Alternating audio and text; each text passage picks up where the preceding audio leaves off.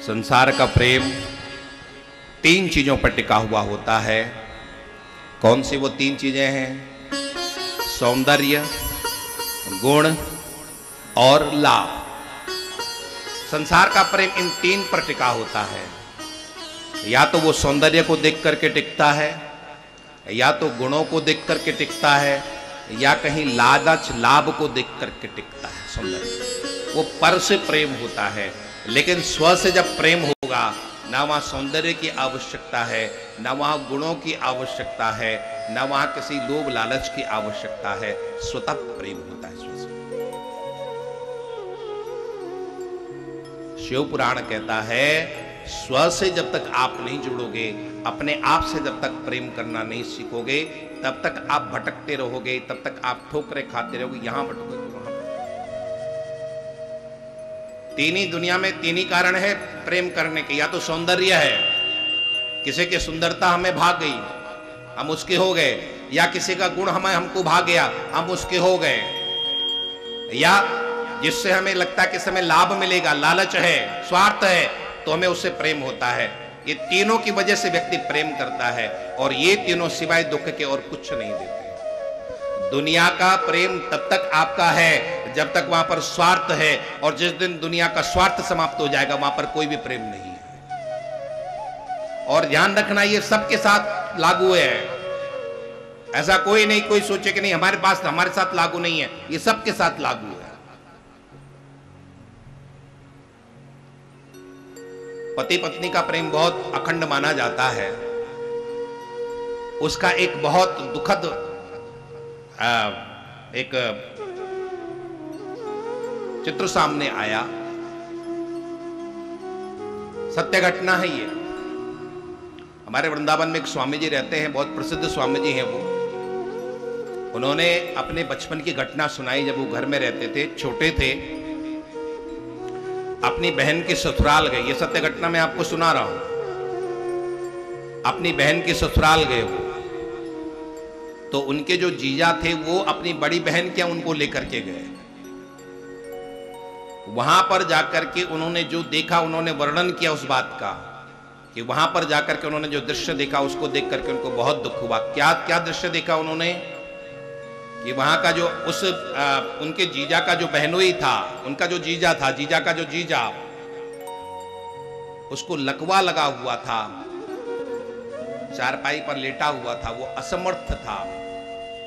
और ये छोटे से बालक जब मिलने के लिए वहाँ पर गए तो उसकी आँखों में झरझर आँसू बह रहे थे और उसने उनसे कहा कि ये जो कुछ तुम देख रहे हो ना, घर, दुकान, मकान, ये सब वैभव, ये मैंने परिश्रम करके सब जोड़ा। लेकिन आज पाँच साल से मुझे लकवा लग गया है तो मैं असमर्थ होकर के खटिया पर लेटा हूँ, बिस्तर पर लेटा हूँ। एक वर्ष तक तो मेरी पत्नी ने मेरी सेवा की, लेकिन जब इसने देखा कि मैं अब ठीक होने वाला नहीं हूँ तो अब मेरी ये सेवा नहीं करती कभी कभी मुझे मारती भी है और मेरे सामने पर पुरुषों से हंस हंस के बात करती रहती है। मैं देखता रहता हूँ और मेरे आँखों में आँसू के अलावा कुछ नहीं कर पाता। इसका नाम संसार का प्रेम। बहुत कटु सत्य है ये। सुनने में शायद आपको अच्छा नहीं लग रहा होगा, लेकिन ये कटु सत्य है। संसार का प्रेम सिवाय स्वार्थ के और कुछ भी नहीं है। लेकिन अपना प्रेम, जब आप अपने से प्रेम करते हो, अपने से प्रेम का मतलब आत्मा से प्रेम, परमात्मा से प्रेम, वहाँ कोई स्वार्थ नहीं। इसलिए सच्चा प्रेम क्या है?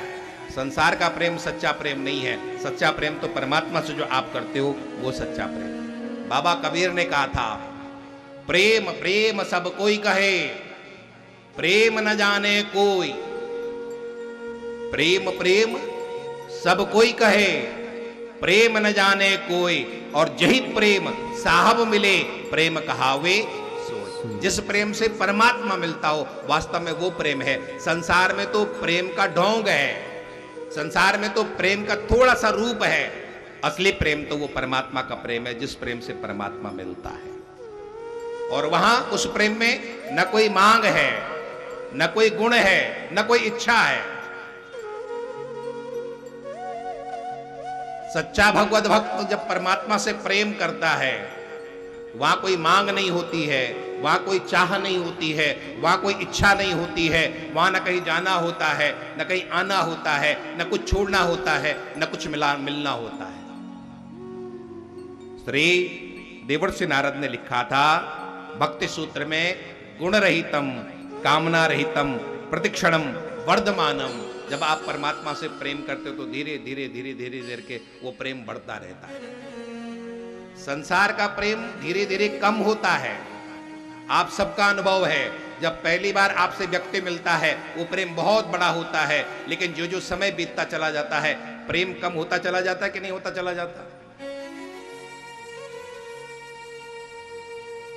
लेकिन भगवत भक्त का प्रेम प्रारंभ दिन से लेकर के और जीवन के आखिरी दिन तक, वो प्रेम धीरे धीरे धीरे धीरे बढ़ता चला जाता है, कम नहीं होता है। इसको कहते हैं परम प्रेम, इसको कहते हैं सच्चा प्रेम।